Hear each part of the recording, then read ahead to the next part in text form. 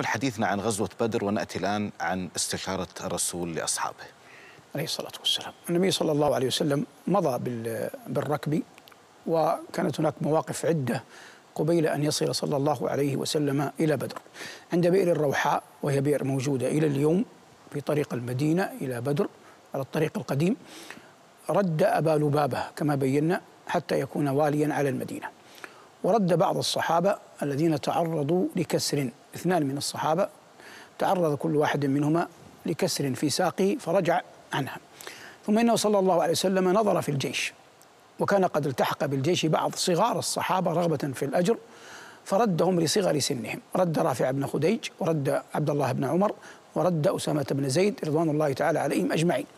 وكان فيهم عمير بن سعد عمير بن أبي وقاص أخو سعد. وعمير هذا كان في السادسة عشرة من عمره وكان يتخفى يتوارى.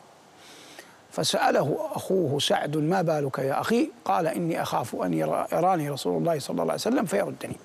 فرده فلما رده بكى. فلما بكى قبله صلى الله عليه وسلم واستشهد في المعركة. رضوان الله تعالى عليه. الله يجمعنا به في الجنة. فهذا الصحابي الجليل على صغر سنه كان أخوه سعد يربط له حمائل سيفه. يعني صغير يعني تسقط حمائل السيف لأن الطول له دور في بقاء حمائل السيف. هذه مرحلة. حتى أتى صلى الله عليه وسلم واد يقال له وادي ذفران بكسر الذال.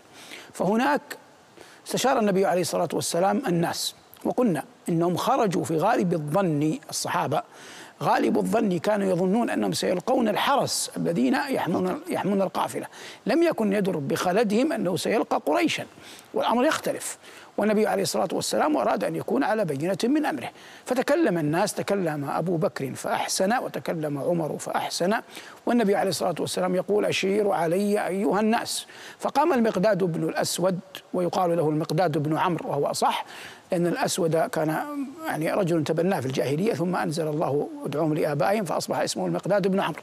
فهذا الرجل المقداد بن عمرو هو كان الفارس الوحيد في في المعركة. يعني بعض الناس يقول الزبير بعضهم يقول المقداد بعضهم يقول كانوا فارسان فارسين. أيا كان ثبوت المقداد كان فارسا. هو الوحيد يقال في إحدى الروايات على أنه كان على فرس. فقال يا رسول الله إن لن نقول لك كما قال أصحاب موسى لموسى اذهب أنت وربك فقاتلا إنها هنا قاعدون. ولكن نقول لك اذهب أنت وربك فقاتلا إنا معكما مقاتلون. وقال كلاما عظيما. الكلام الحسن يظهر على وجه سامعه فسر وجه رسول الله صلى الله عليه وسلم فرحا بقول المقداد. حتى قال عبد الله بن مسعود رضي الله عنه وأرضاه كان يتمنى لو أنني عبد الله بن مسعود يقول تمنيت لو أنا الذي قلت هذا الكلام أنا أتكلم الآن بالمعنى.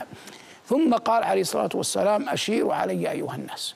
فقام سعد بن معاذ قال كأنك تريدنا يا رسول الله. الآن سكوت سعد في الأول ليس بلادة فهم. حاشاه ولكن ادبا مع النبي عليه الصلاه والسلام.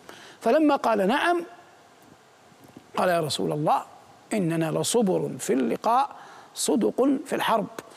وقال إننا عاهدناك وأعطيناك المواثيق وإننا معك وباقين على الإيمان ولم يتغير منا شيء. فقال كلاما هذا فحواه حتى يطمئن قلب النبي صلى الله عليه وسلم فصر عليه الصلاة والسلام وقال أبشروا فإن الله قد وعدني إحدى الطائفتين ومضى صلى الله عليه وسلم بالجيش حتى يدنو من ماء بدر.